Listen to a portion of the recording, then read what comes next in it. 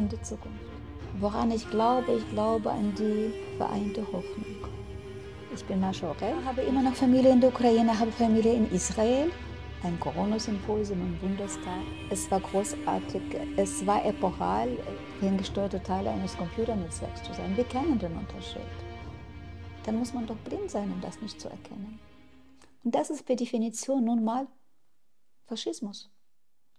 Liebe Mascha. Liebe Markus. Vielen Dank, dass ich dich heute interviewen darf. Magst du dich bitte kurz mal vorstellen? Klar. Ich bin Mascha Orel. Ich bin gebürtig aus der Ukraine.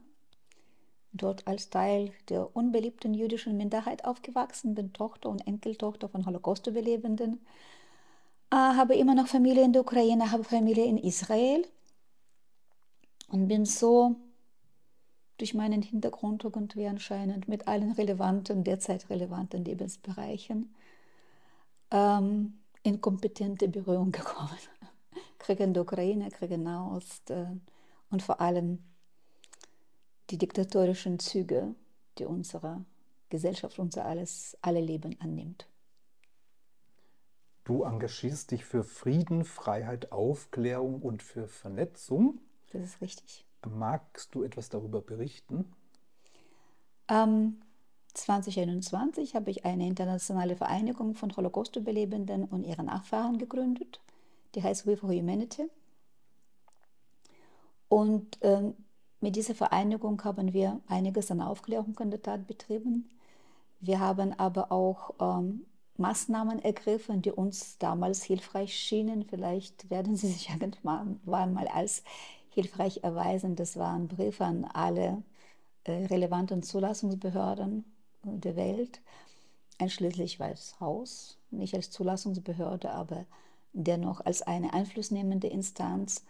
Mm, wir haben dann auch äh, Regierungen angeschrieben in mehreren Ländern und auch äh, in Deutschland ganz explizit äh, PAI und RKI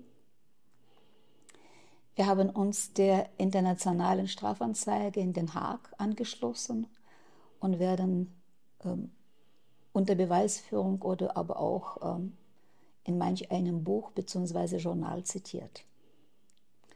Wir klären auf eine andere Art und Weise auf. Ähm, wie Vera Scharaf sagte, sie sagte, ich bin zum Ergebnis gekommen, dass ich aus einem bestimmten Grund überlebt habe, nämlich um Menschen zu warnen. Es gibt einen gewissen historischen Auftrag aus meiner Sicht. Äh, jedenfalls für die Juden, die etwas aus der Geschichte gelernt haben. Und das ist äh, dieser etwas andere Aufklärungsaspekt, mit dem wir unterwegs sind. Magst du noch etwas berichten über dein aktuelles Engagement? Mein aktuelles Engagement, es gibt so viele Themen, die mich beschäftigen, äh, so viele Ideen, mir berstet der Kopf von Ideen andauernd. Ganz aktuell das Symposium in Berlin. Da war ich dabei. Es war phänomenal. Es war großartig. Es war epochal. Äh, und, und meine Sorge ist natürlich, ob es wieder mal im Sande verläuft oder ob wir es schaffen, daraus tatsächlich etwas Epochales zu machen. Ähm, bislang ist es nur, nur eine, so, so eine momentane Aufnahme, es waren wunderschöne zwei Tage. Entscheidend sind aber die Konsequenzen aus diesen Tagen. Was ich abermals erkannt habe, dass die AfD die einzige wählbare Partei ist im Rahmen des äh, Parteisystems, solange es existiert. Ähm, ich habe da einige Abgeordnete persönlich kennengelernt. Ich habe äh, ihre Hand in meine gehalten. Sie brennen für die Sache wirklich. Sie sind aufrichtig, sie sind authentisch. Und ähm, sie haben natürlich mit diesem Format ein Corona-Symposium im Bundestag, die haben eine Plattform zur Verfügung gestellt, die einmalig ist, dahingehend, dass ihr YouTube-Kanal ja nicht ohne weiteres zensierbar ist. Das heißt, im nächsten Schritt ist es an uns, am Widerstand, das, was dort vorgetragen wurde, einmalige historische Vorträge, mächtig, dass sie tatsächlich auch bekannt werden, dass Leute vielleicht eine gewisse Unannehmlichkeit auf sich nehmen, doch sich an diejenigen wieder heranzutrauen, die sie schon mal abgestoßen haben. Ja? Ähm, denn es hat sich vieles verändert. Und vor allem, was sich verändert hat, es gibt ganz viele Menschen jetzt, gerade jetzt, die zweifeln, die sich auch überfordert fühlen, die sich im Stich gelassen fühlen. Ähm, ich glaube nicht wirklich, dass all die Impfgeschädigten auf einmal auf der Straße stehen, aber dass sie eine gewisse Unterstützung, eine gewisse Orientierung sehr wohl gebrauchen können. Und dieses Symposium bietet diesen Leitfaden. Ähm, es sind Erkenntnisse, aus denen man lernen kann. Es sind Erkenntnisse, mit denen man auch die Zukunft gestalten kann. Denn man hat dort ganz klar und deutlich gezeigt, es geht wohl um die Aufarbeitung und die Aufarbeitung ist notwendig, die ist ja noch nie stattgefunden, deshalb sind das immer die gleichen intrigierende Parasiten, die unser Leben unmöglich machen. Ähm, aber die haben auch gezeigt, äh, wofür das Ganze angedacht war. Und was man deshalb in Zukunft zu unterbinden hat. Nicht nur durch die Aufarbeitung, sondern und vor allem durch eigene Positionierung in diesem, mitten in diesem Desaster. Das ist ja ein humanitäres Desaster, in der wir. Das ist das, was mich beschäftigt. Ich möchte dazu einen Beitrag leisten, so gut es geht. Ähm, es gibt jetzt den Vertrag von Sucharit Bhakti mit englischen Untertiteln, der muss dann verbreitet werden. Ich denke mal, dass dieses Event, die Erkenntnisse daraus, die Vorträge unbedingt internationalisiert werden müssen. Deshalb, wenn jemand jetzt Unterstützung bittet und sagt, komm, ich kann jetzt äh, polnische Untertitel liefern, ich kann jetzt äh, mit meinem Netzwerk in, in, in, in Uruguay helfen, ja, dann das ist das, was passieren soll. Internationale Verbreitung, verbreiten außerhalb von unserer Blase, um eventuell die Zweifler noch mitzunehmen. Sie brauchen uns genauso sehr, wie wir sie brauchen, denke ich mal. Das ist das, was mich beschäftigt, dass dieses großartige Event nicht im Sande verläuft. Ähm, mich beschäftigt sehr, sehr das Thema ähm, Kinderschutz. Ich habe jetzt diese neuen Erziehungsmaßnahmen, nenne ich mal das, gelesen von der WHO, mitgetragen, äh, federführend mitgetragen von der Deutschen Zentrale für gesundheitliche Aufklärung ähm, wo es im Grunde genommen darum geht, dass unsere Kinder von, von klein auf für Kriminelle abgerichtet werden. Ich finde es verstörend, dass auch im Widerstand, wenn, wenn ich das so ausspreche, gleich, oh wow, das kannst du nicht sagen. Ähm, ob der Schock zu groß ist, ob, ob Leute einfach ähm, sich mit dem Thema nicht befassen wollen, weiß ich nicht.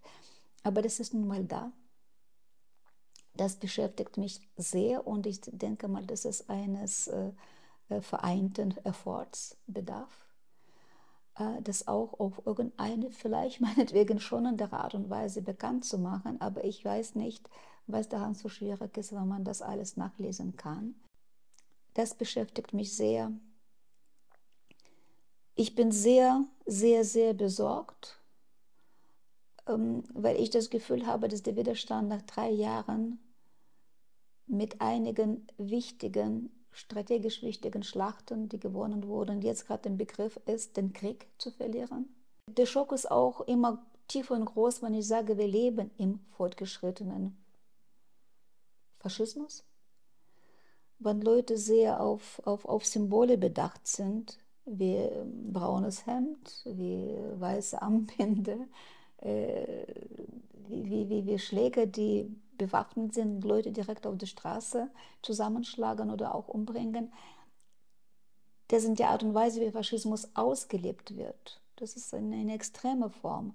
Aber ich versuche da immer ganz pragmatisch bei Semantik zu bleiben und es gibt eine klare Definition. Das ist eine Gleichschaltung, die dadurch erreicht wird, dass alle tragenden Säulen einer Gesellschaft dem Diktat der politischen Exekutive untergeordnet sind und diese, dieses Diktat auch durchsetzen oder exekutieren.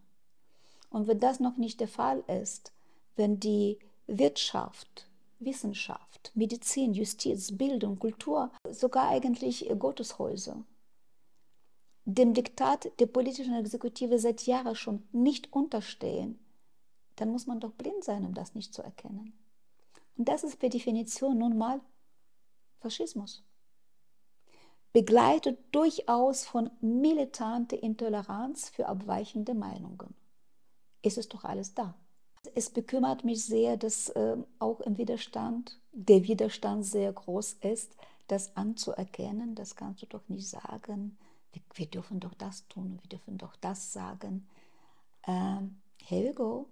Wenn wir dürfen, dann ist das Totalitarismus, das ist Diktatur.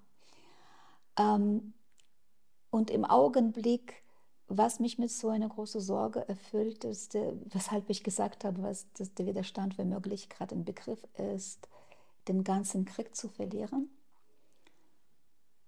Den Krieg wird ja seitens Regierung gegen uns geführt. Und wir befassen uns mit dem hypothetisch anzunehmenden Dritten Weltkrieg, der dadurch ausgelöst wird, was jetzt im Nahost passiert. Ähm, ich denke, dass der Widerstand sich jetzt ganz mächtig emotional manipulieren lässt. Und das sage ich wie jemand, der Familie in Israel hat. Und das sage ich gerade deshalb. Und da wird mir auch häufig in so privaten Unterhaltungen Gefühllosigkeit vorgeworfen. Das möchte ich mal auch geklärt wissen. Gefühle sind in mir drin.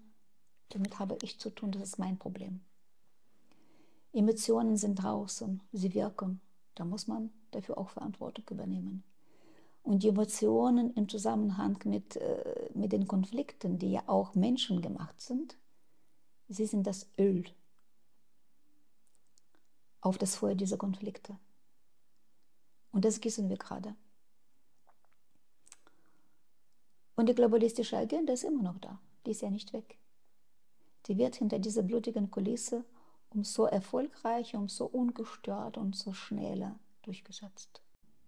Der Widerstand ist sich gerade sehr einig darin, in falsche Richtung zu schauen, denke ich mal. Das beschäftigt mich sehr. Ähm, ich möchte Synergien schaffen. Ich denke mal, dass die AfD schon lange Teil des Widerstands ist. Das haben sie mit diesem Symposium noch einmal bewiesen. Ähm, nicht viele haben wahrgenommen, aber es gibt äh, AfD-Politiker, die schon immer auf den Demos gesprochen haben. Da gehört auch Dr. Baum dazu. Ähm, Herr Hönig hat gesagt, wenn man jetzt äh, das Event verfolgt und sich die ganzen Vorträge anhört, er hat gesagt, der kommt zu jeder Demo. Und sei es nur zehn Leute. Das nennt man Widerstand. Und es gab eine Synergie, die funktioniert hat, nachweislich. Das war im April des äh, letzten Jahres, als die Impfpflicht verhindert wurde. Natürlich war der Widerstand massiv auf den Straßen, keine Frage, aber ohne äh, das Mitwirken seitens der AfD von innen. Wir haben von außen gewirkt, die AfD von innen, hätte es nicht geklappt. Das war eine funktionierende Synergie und ich glaube, da sollte man auch aufbauen. Ich bin dafür, dass wir gemeinsame Aktionen mit der AfD versuchen zu konzipieren und durchzuführen, die dann auch so funktionieren könnten, sollten sicherlich auch werden, wie das Verhindern der Impfpflicht. Das wäre etwas, ähm, womit ich mich sehr gern befassen würde. Natürlich nicht im Alleingang, aber ich würde gerne mal da ein paar ähm, Gedanken dazu machen und vielleicht dann auch einige Ideen in dem Kanal We for Humanity Campaigns einstellen. We for Humanity ist ein Kanal mit Informationen und We for Humanity Campaigns ist eher ein Kanal, wo uh, Call for Action sind, wo ich einfach Leute darum bitte, mit, mitzumachen, mit anzufassen und irgendwie mitzuwirken. Ich habe vor circa einem Monat ein Interview gesehen bei Bittel TV, in dem du und deine Tochter mit Roger gesprochen habt. Gab es daraufhin Rückmeldungen? Ja, es gab einige äh, Privatnachrichten. Die, die Rückmeldungen waren positiv. Insgesamt, mh, mm, es waren nicht wahnsinnig viele muss ich dazu sagen. Also die da waren, die waren positiv. Es waren nicht wahnsinnig viele. Ich war jetzt nicht überwältigt vom, vom Zuspruch.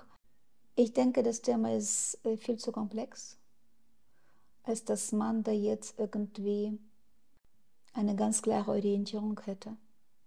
Ja? Menschen neigen dazu, Parteien zu ergreifen. Sie neigen auch dazu, politisch korrekt zu bleiben.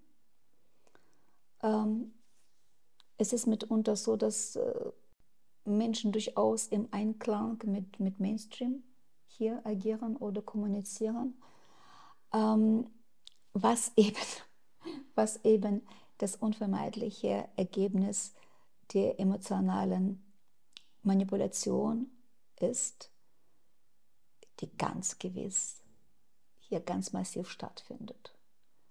Ja. Wir konnten so vielen Versuchen der emotionalen Manipulation widerstehen und hier konnte der, der, der, auch der Widerstand dann anscheinend nicht. Das Thema ist viel zu schockierend na, in ihrer Gesamtheit. Ich denke, dass die Bemühungen, äh, die ganze Situation zu verstehen, vergebens sind. Es ist viel zu komplex. Ich behaupte, dass sogar die Menschen, die vor Ort sind, aber nicht politikaffin sind, das alles nicht erklären können die Darstellung, mit der man hier äh, irgendwie äh, zu, zu, Ergebnissen und sogar Empfehlungen zu kommen versucht, ist irrsinnig simplifiziert.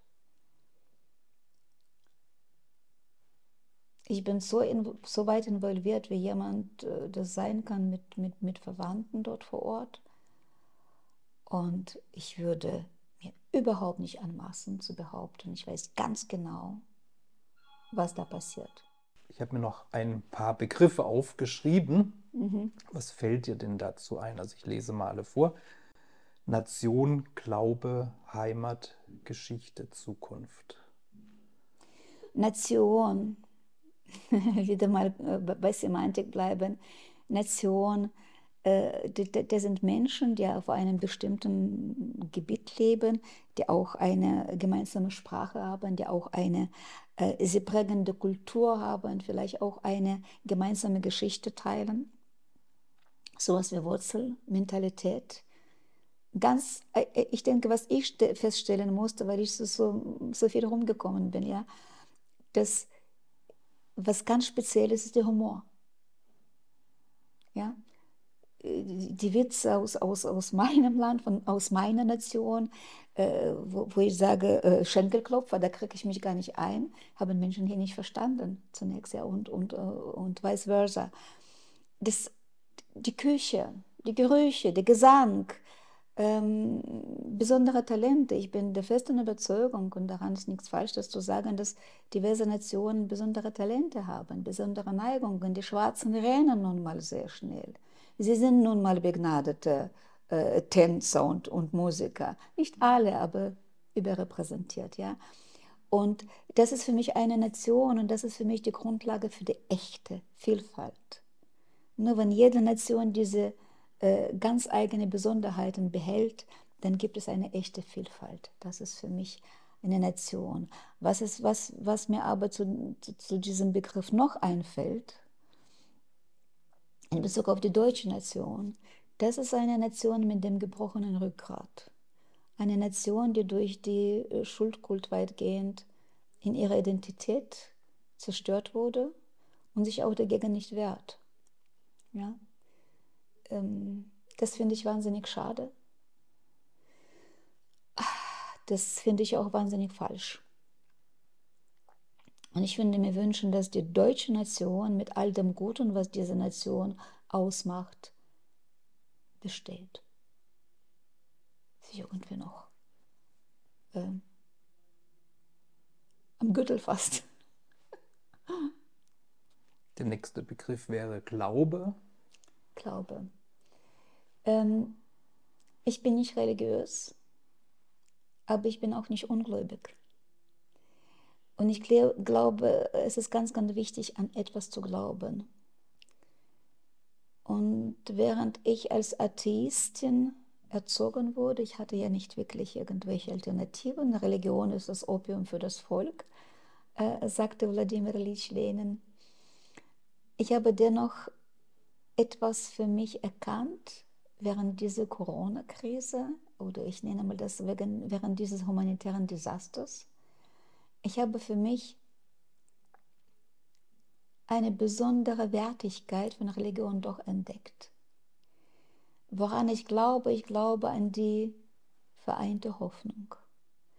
Und ich habe endlich mal erkannt, weshalb Menschen in Augenblicke der Verzweiflung, in Augenblicke der besonderen Freude oder Erstaunen doch zum Gott rufen. Das ist nicht einfach nur ein Floskel. Die sagen doch, oh Gott, oh Gott, oh Gott. Oder, oh nein, bitte, bitte nicht, lieber Gott. Oder, oh mein Gott. Das ist immer nur eine Frage des Tonfalls, es ist Begeisterung, es ist Klage. Das ist im Grunde genommen ähm, tatsächlich ein Ausdruck der Hoffnung, dass es Hilfe gibt. Äh,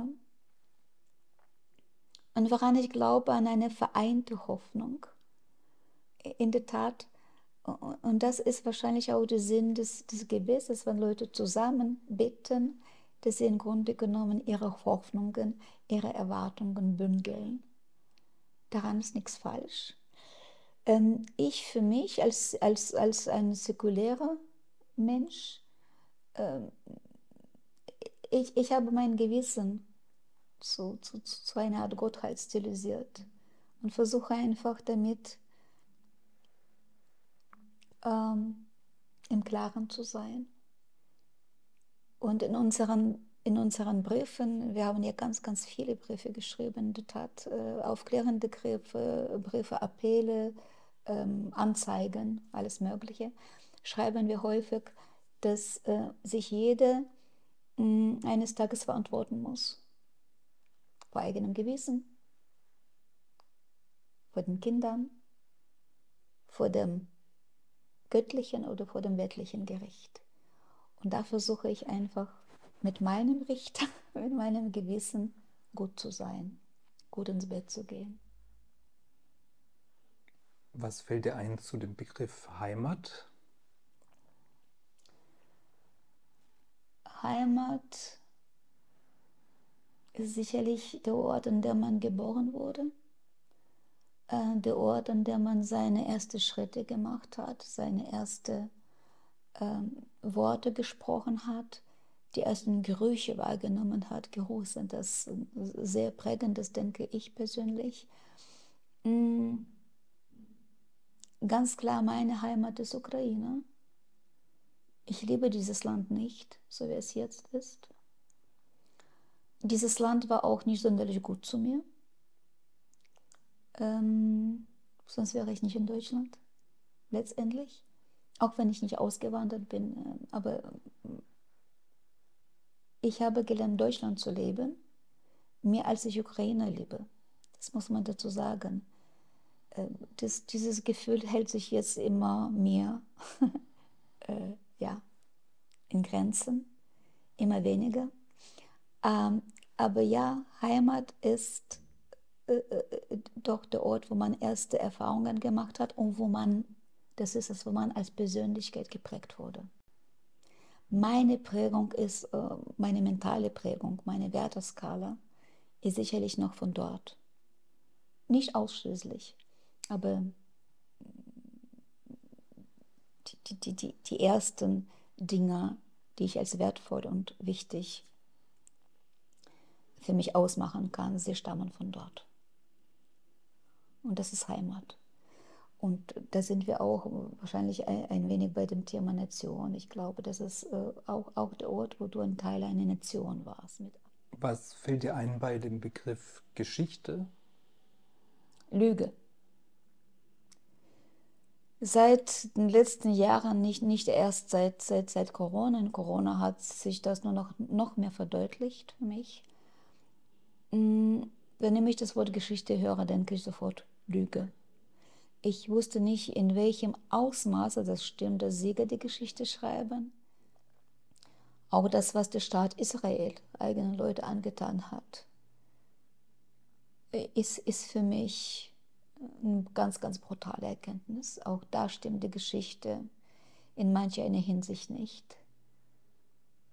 Der Staat, der dafür gegründet wurde, um, um Juden Zuflucht zu gewähren, einen sicheren Ort zu gewähren, äh,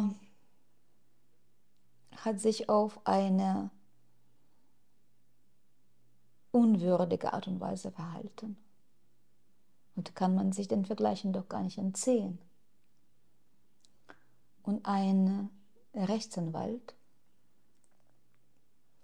Enkel von Holocaust-Überlebenden in Israel, sagte in einem Interview mit TKP, nach all dem, was ich in, in, Israel in den letzten äh, drei Jahren erlebt habe, kann ich die Deutschen damals verstehen und ihnen vergeben. Was fällt dir ein bei dem Begriff Zukunft?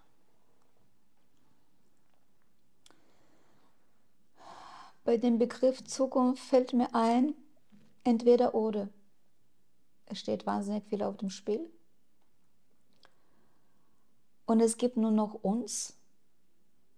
Im Sinne, es gibt nur den Widerstand, der jetzt aktiv ist ich denke mal, dass die Erwartung, dass da irgendwie noch massenhaft Leute äh, zur Unterstützung kommen, diese Erwartungen werden nicht erfüllt. Ähm, es ist auch nicht schlimm. Wir reichen, wenn wir das richtige Ziel vor Augen haben und wenn wir äh, dieses Ziel gemeinsam, je, jeder auf seine Stärken fokussiert verfolgen, gut koordiniert verfolgen, brauchen wir nicht mehr als uns. Ähm, es gibt nur uns auch in einer anderen Hinsicht, in einer anderen Betrachtung, nämlich nur unsere Generation, vielleicht auch die Generation nach uns. Wenn wir das schaffen,